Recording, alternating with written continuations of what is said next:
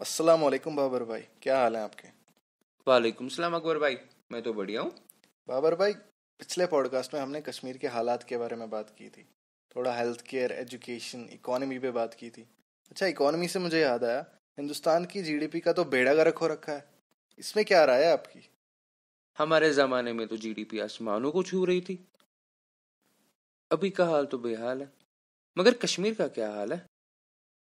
बाबर भाई, बड़ी अच्छी बात छेड़ी आपने। आज ही मेरा कबूतर कश्मीर से खत लेके आया है। पढ़ के सुनाता हूँ आपको। लिखा हुआ है कि अठारह हज़ार करोड़ से ज़्यादा का नुकसान हुआ है। और ये तो सिर्फ़ मॉनेटरी नुकसान है। ये भी लिखा है कि ट्रेड में सवा लाख से ज़्यादा जॉब्स गई हैं। कश्मीर की बैकबोन टूरिज़्म में पचहत्तर हज़ार से ज़्यादा जॉब्स गई हैं। और कारपेट इंडस्ट्री में तो सत्तर हज़ार से ज़्यादा जॉब्स गई हैं। कुल मिला के पाँच लाख से ज़्यादा जॉब्स का नुकसान हुआ है अकबर भाई। और ये बेचारा कबूतर तो दस दिन पहले कश्मीर से निकला है। अभी का हाल न जाने क्या होगा। ये तो बड़ी बुरी खबर है।